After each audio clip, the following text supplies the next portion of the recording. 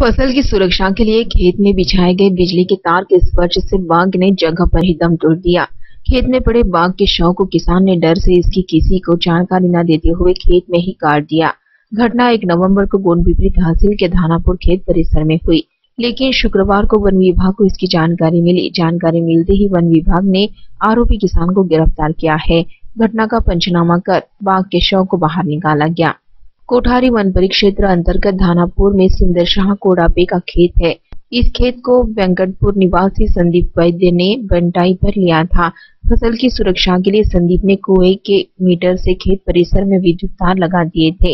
एक नवंबर की सुबह इन विद्युत तारों को बंद करने संदीप खेत पर आया था। इस समय विद्युत तारों के स्पर्श से बाघ की मौत की बात ध्यान में आते ही उसने डर के मारे शव को खेत में गाड़ दिया था।